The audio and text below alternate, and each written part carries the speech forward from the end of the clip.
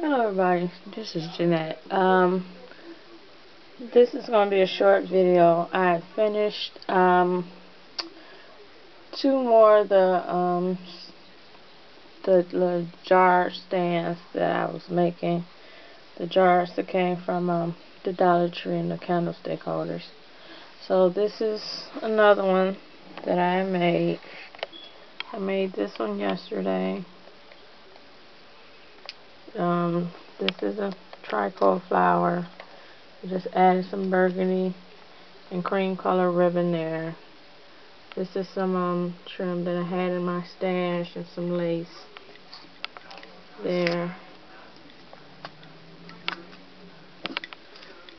And this is one of the um, earrings that I got from um, Forever 21 yesterday. So this I made that one out one of the centerpieces. So that is one.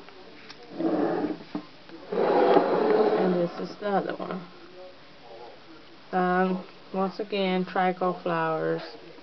Charm that I had and I just added that um, gold I mean bluish color stone there that I had in my stash. This one just has one ribbon that's a bow and a trico flower there. And some um, lace that I had in my stash. So this is it.